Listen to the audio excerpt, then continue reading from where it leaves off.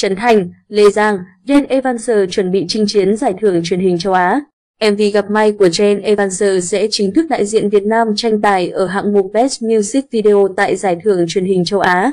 Cùng với đó, Trấn Thành, Lê Giang, Huyền Ân là những nghệ sĩ trao cúp và xuất hiện trên thảm đỏ danh giá. Với số phiếu bình chọn lên đến hơn 1,3 triệu vote, MV gặp may của Jane Evans đã chiến thắng vòng đua bình chọn trong nước một thành viên phán Choice do kênh truyền hình một thành viên Việt Nam tổ chức đã diễn ra vào tháng 7 năm 2022. MV gặp may được tạo nên từ chính những trải nghiệm của Jen Evanser sau khoảng thời gian mất đi nhiều mối quan hệ. Với những xét quay tối giản, hình ảnh đầy ẩn dụ nhấn mạnh biểu cảm của nhân vật và không bị ràng buộc bởi một kịch bản cụ thể đã cho thấy được nét trẻ trung. Cá tính của một nghệ sĩ Gen Z Cả khúc được Jane Evans thu âm bằng công nghệ Dolby Atmos với mong muốn tạo ra không gian sống động cho bài hát và trải nghiệm mới mẻ cho khán giả.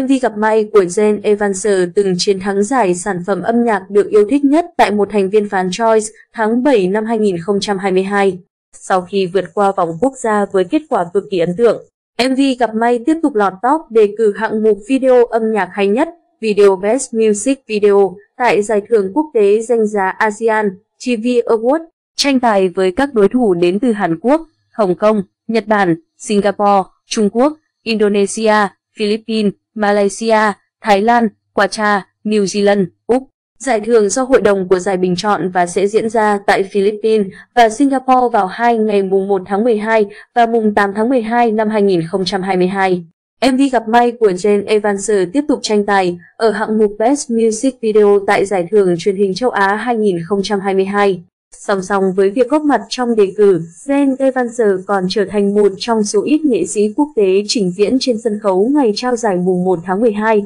với bài hát Gặp May và Baby With You. Đây là cơ hội để nghệ sĩ Việt có thể mang âm nhạc nước nhà đến gần hơn với bạn bè quốc tế, giao lưu văn hóa, nghệ thuật và có thêm những kết nối tốt đẹp. Giải ATA lần thứ 27 càng thu hút sự chú ý hơn khi dàn sao Việt xài bước trên thảm đỏ là những tên tuổi đỉnh đám gồm Trấn Thành, Lê Giang.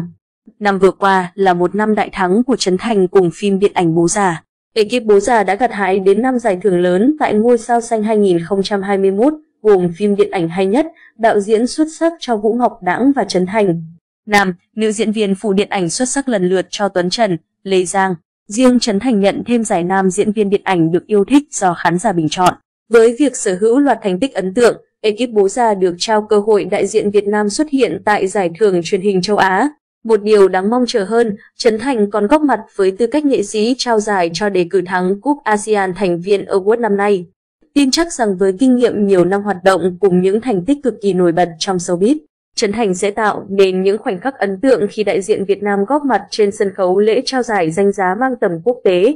Giải thưởng truyền hình châu Á ASEAN Television Award ra mắt vào năm 1996 nhằm tôn vinh những tác phẩm, chương trình và cá nhân xuất sắc của truyền hình châu Á. Năm 2017, ngôi sao xanh khoác lên màu áo mới đầy ấn tượng khi chính thức trở thành thành viên của giải ASEAN Television Award là cầu nối đưa tên tuổi nghệ sĩ Việt góp mặt trong đề cử giải thưởng truyền hình danh giá bậc nhất khu vực châu Á. Hà Khánh, ảnh, một thành viên Việt Nam và nghệ sĩ,